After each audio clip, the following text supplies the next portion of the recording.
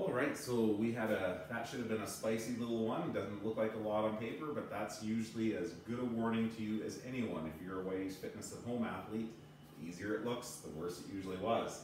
So with this one here today, uh, we did hit the core a little bit with doing our sit-ups. So what we're gonna look to do is we're gonna look to get on the back side of that and just work core on the other side of that. So how that one's gonna work, uh, we're gonna start it out with 20 Supermans, okay? You probably think I program way too many of these things, but uh, it's a lot of times when we're working core, we never think the backside. We only think of the sit-ups as we're as we think that's what's going to get us that six pack, right? So for our Supermans, we're reaching long. You can see how my thumbs are pointed towards the ceiling, pointing the toes, lifting the chest off the ground, and you should feel quite a bit of. Uh, feel a lot of action muscles, core on the front, and in or around on the back side as well when you're doing those supermans. After that, we're gonna work our way through dead bugs. So our dead bugs, we're here, right?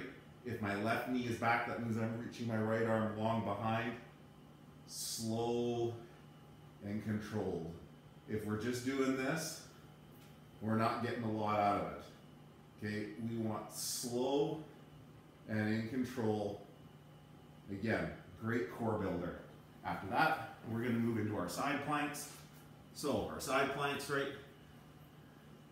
We're up on that elbow. We're nice and level here. We're looking out ahead. Hang out here for 45 seconds. Turn over.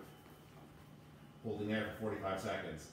For those of you that struggle on those side planks, what we can do is we can put that knee down right? And just take a little bit of weight off, but that's a great way to actually start building some more of that side core, but just taking a little bit of strain off of that, okay? So, that's your accessory, three rounds, great start to the week.